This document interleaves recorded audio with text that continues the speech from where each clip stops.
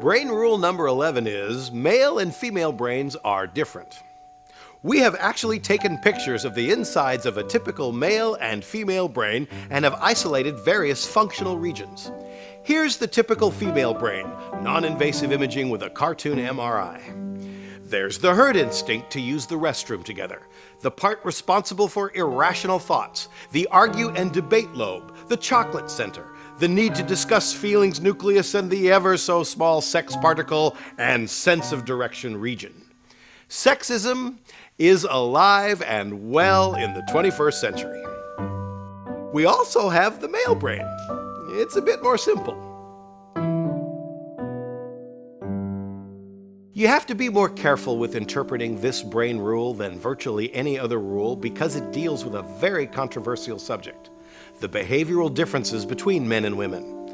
We are hardly going to settle the war between the sexes in this chapter, and we must tread carefully, for even experimental design can be influenced by cultural prejudice. Even now, the only thing you can responsibly say with some confidence is the brain rule itself male and female brains are different. You can see this clearly in what are human beings' biggest sex organs, their brains.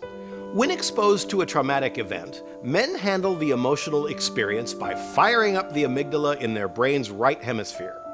That's important for two reasons. First, the amygdala is where the brain generates and remembers emotions. The second is the right side of the brain tends to process and remember the gist of an emotional event's meaning. With guys, you have emotions and you have gist. On the other hand, in women, a traumatic event registers her on the left side of the brain, the portion dedicated to details. That's important for three reasons. First, the female amygdala is involved in emotional responses, just like the guys. Second, the left side of the brain processes the details of the emotional responses. Third, their responses to traumatic events is exactly the opposite of what is seen in the guys.